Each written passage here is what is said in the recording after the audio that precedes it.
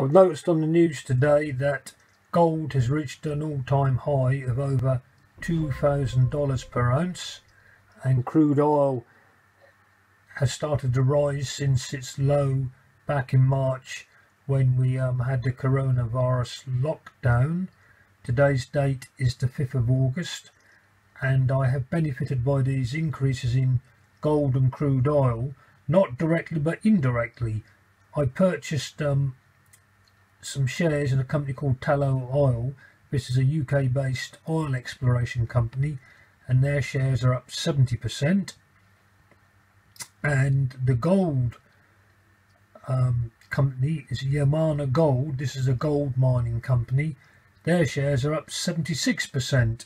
So you don't necessarily need to invest or buy the actual commodity.